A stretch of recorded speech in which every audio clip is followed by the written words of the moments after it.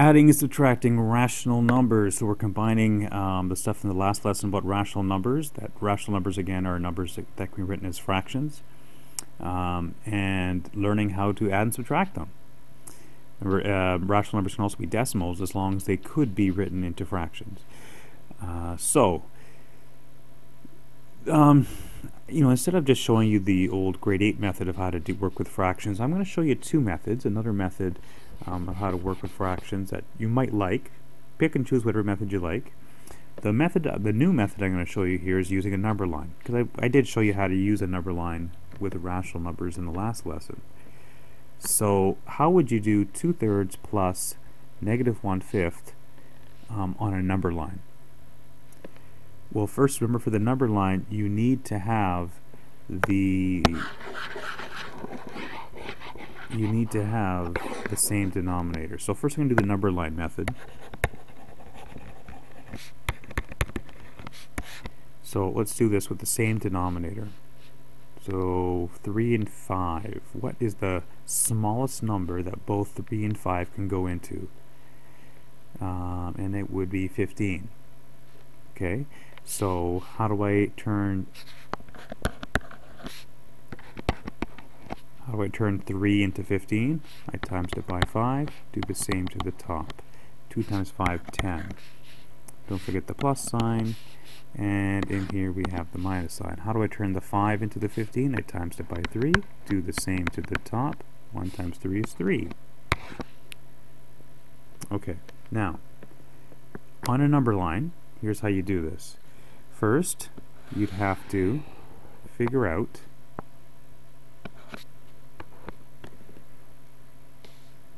what are, are what, what these numbers are close to. We're starting with 10 fifteenths and we're adding this. Um, adding a negative this. Uh, so we're 10 fifteenths is greater than 1. Sorry, greater than 0. But it's less than 1. So I don't have to go past 1. And negative 3 fifteenths is less than 0, but it's not quite negative 1. So we'll put negative 1 over here. And since the denominator is 15, I'm going to slice each thing up into 15 slice pieces.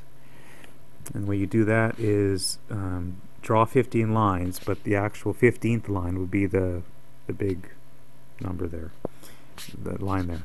So 1, 2, 3, 4, 5, 6, 7, 8, 9, 10, 11, 12, 13, 14, 15. 1, 2, 3, 4, 5, 6, 7, 8, 9, 10, 11, 12, 13, 14, 15 there. Okay, 10 fifteenths is where I'm going to start at. 10 fifteenths is 1, 2, 3, 4, 5, 6, 7, 8, 9, 10. There's 10 fifteenths. Okay, now what am I going to do? Before we proceed, let's take a look here. We have a double sign. Remember about, about double signs?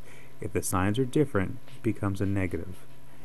So, or if you want to do the, the number line way that I, that you may have learned before, remember positive means he goes in the forward direction, and then when you have a negative, that means reverse your direction.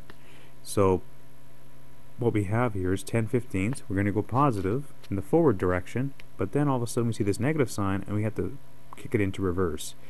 So when you have a plus and a minus, a double sign, that means it's a minus.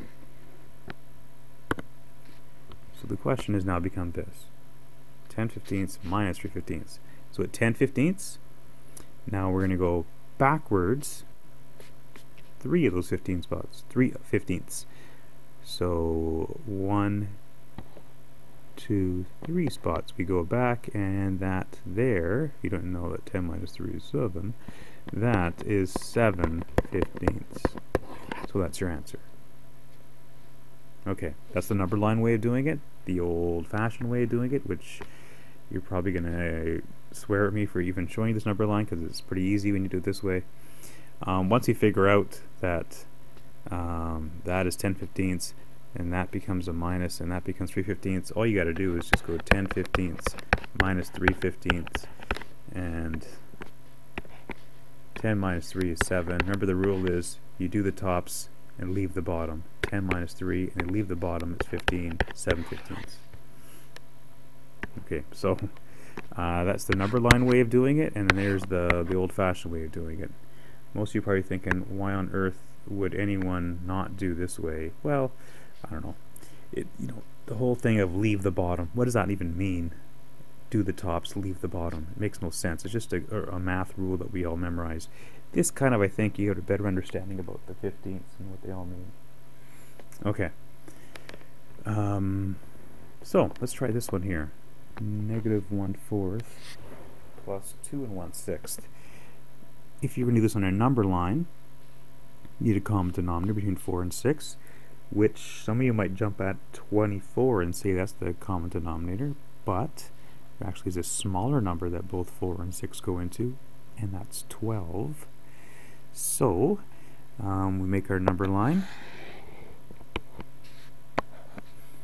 Let's take a look at what we have here. We have a number that's less than 0, so we'll need to put 0 here. Uh, but it's not it's still not as it's it's it's not as low as negative uh, it's in between negative 1 and 0 is what I'm trying to say. And over here we have 2 something. So we're going to need to have 0 1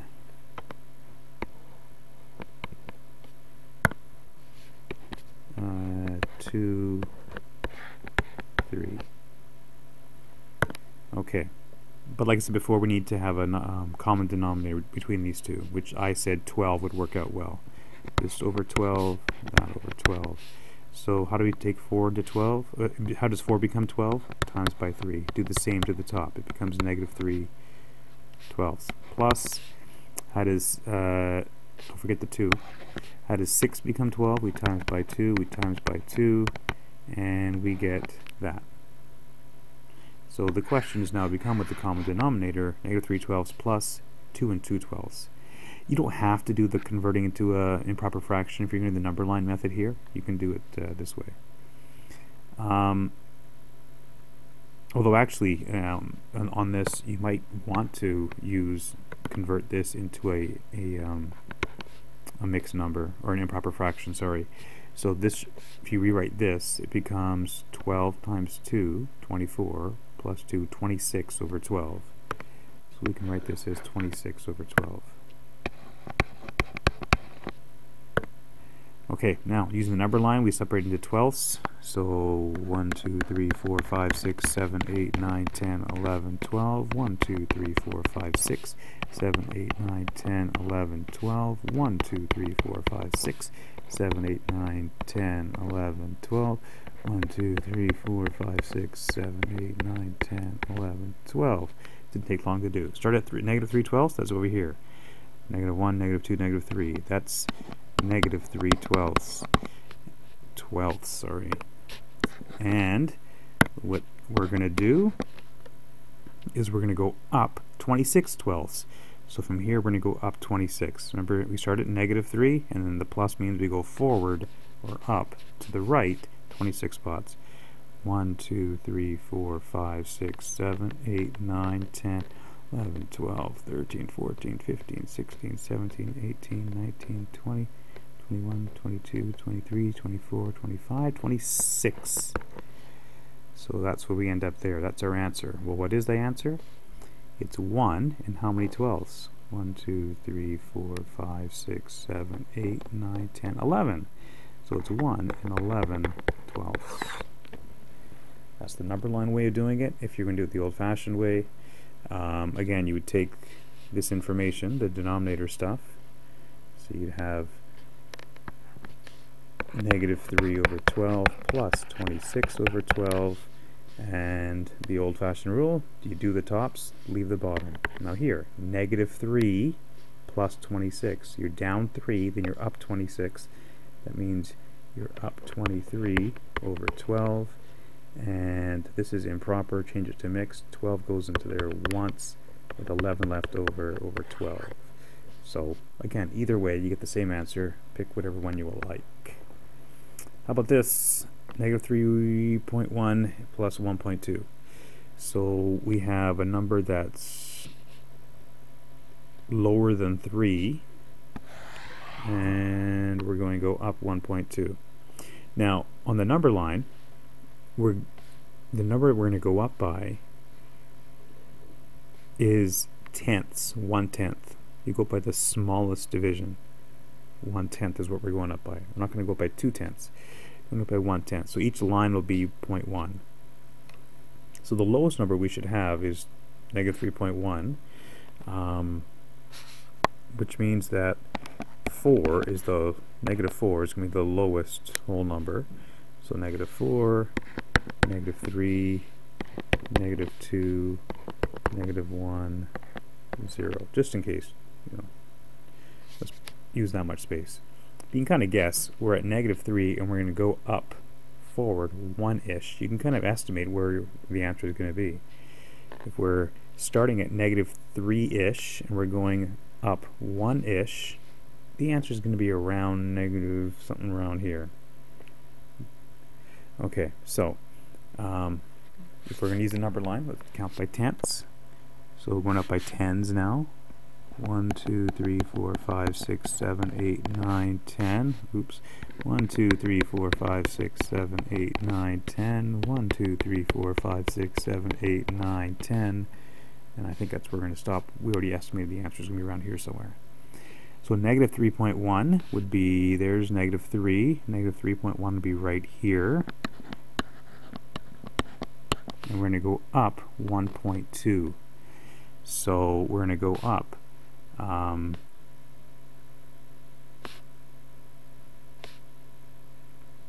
uh, one, two, three, four, five. Sorry, uh, two tenths first. One, two, and then one full number. That's would be 1.2. So that's like like 12 spots we're moving it. 1, 2, 3, 4, 5, 6, 7, 8, 9, 10, 11, 12. Right there. And when you do that, what is that number right there? Well, negative 1.123456789. Negative 1.9. Alright, that's one way to do it with the number line. Another way to do it is just the old-fashioned way. And the old-fashioned way looks like this. without a calculator, which is what I expect you to do this without a calculator, you have negative 3.1 plus 1.2. Now the other way that I taught you how to do integers doesn't really work that well with, with decimals. So here's another method of how to handle integers when you're adding subtracting integers. Um, first, when you see that the signs are different, you know you're going to subtract. So if the signs are different,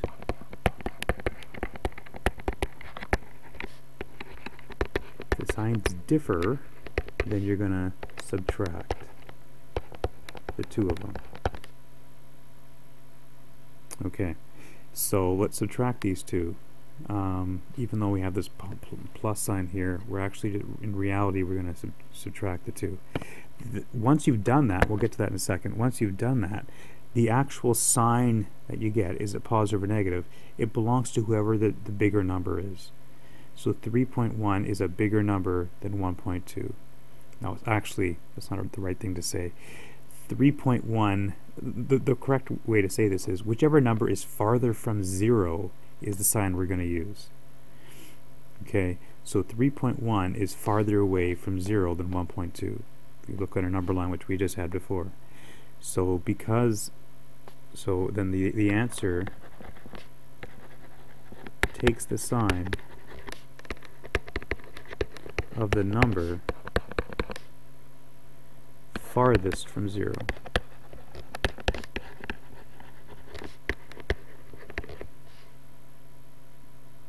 Okay, so um, let's. So we already know that that uh, this is the large. This is the number farthest from zero. So the answer is going to be negative something. So we subtract these two first because the signs the, the original question differed. So we subtract. So one minus two can't do. We borrow over here. It it's two. That makes that nine and uh, 2 minus 1 is 1 and the decimals again in adding have to line up so it's 1.9 so it's 1.1 when you subtract and because this is the farthest from 0 we take its sign which is negative the answer is 1.9 so again whatever method you like. Okay this one here negative 5 fourths plus 3 and 1 fifth. I'm going to just do this the old-fashioned method. Um, but you can still, number line help is helpful to estimate roughly what the answer would be. Here you have a double sign. So we have negative 5 fourths, let's get rid of the double sign, plus minus becomes a minus 3 over 1 fifth. From here what you're going to do is common denominator between 4 and 5. Well first off, uh, let's get rid of this improper fraction, make it a sorry, get rid of this improper fraction, make it a mixed number. So this question get, will be rewritten as negative 5 fourths minus 3 times 5 plus 1, 16 over 5. Common denominator we need now, if these are different, we would use 20 as our common denominator. How do you make 4 into 20? Times by 5, do the same to the top. You get negative 25, but don't forget the minus sign, right? So that's why it's negative 25. Minus how does 5 become 20? You times it by 4. Do the same to the top. 16 times 4. Trust me. Uh, you do this the old-fashioned way. Uh, 4 times 10 is 40. 40 plus 24, 64. is what you would get. Now here, you just do your regular kind of integers. You're down 25, then you're down 64. And if you need help, yeah, you can do it on the side. Or, using this little rule that I mentioned up here, if the signs are different, you subtract. Well, I forgot to mention, if the signs, that's supposed to be an arrow, if the signs are the same, then you're going to add. And that's what we have here. The signs are the same, we're going to add these two together. So you're down 25 and you're down 64 so it's like 25 plus 64, which is 89. And the sign 64 is the most furthest away from 0, and it's got this minus sign with it, so it's negative. So it says 80, negative 89. However, you get the answer. It is negative 89. Over 20, and then how many times does 20 go into 89? It goes in 4 times, with 9 left over over 20, and don't forget the negative sign there. It's negative 4 9 twentieths. Uh, this one here, same deal um, as before. We look at uh, the double sign. Double sign means two signs are the same, it's positive. So it becomes positive. And then using the rule we did above, these two signs are different here, so that means we're going to subtract 3.9 minus 2.3. 9 minus 3 is 6. Put the decimal there. 3 minus 2 is 1. Is it positive or is it negative? Remember, the answer takes the sign of whichever number is farther away from 0. Negative 2.3, positive 3.9 whatever sign it is, if it, I mean, this some people are thinking, is this an adding sign or a subtract uh, or a plus sign? It's both. It belongs to this too, by the way. Um, and says this number is the farthest away, it's positive 1.6. We take the sign of whatever number is farther away. There's your answer. And here are your skill testing questions. Enjoy.